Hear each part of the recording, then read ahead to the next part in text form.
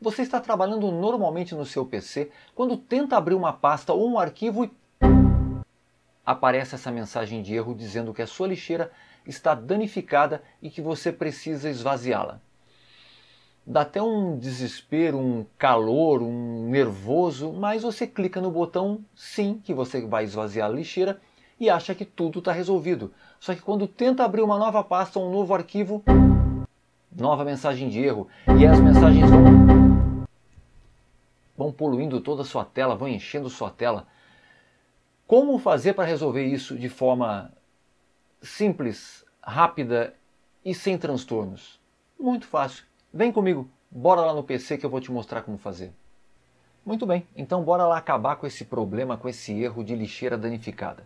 Eu pressuponho que você esteja utilizando o Windows 7, 8 ou 10, então clique aqui do lado do botão iniciar, no canto inferior esquerdo, no campo de pesquisa. Digite CMD e o resultado da busca vai ser o prompt de comando. Clica com o botão direito nele e executa como administrador. Gente, é importante que você execute como administrador para não dar acesso negado, ok? Então bora lá, confirmamos aqui a abertura do antigo prompt do DOS, que agora é prompt de comando, e nós vamos digitar um comando e você não precisa se preocupar em copiá-lo agora, tá? Porque ele vai estar tá na descrição do vídeo.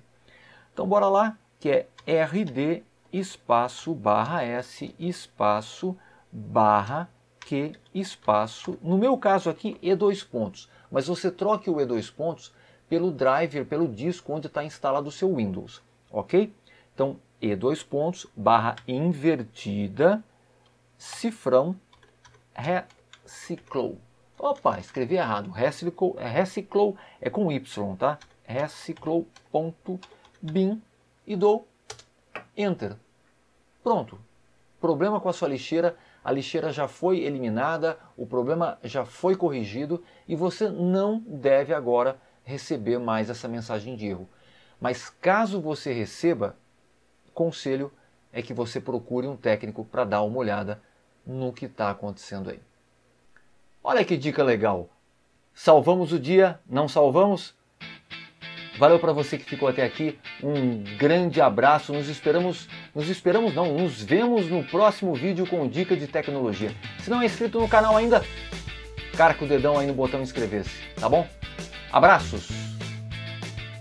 Fui.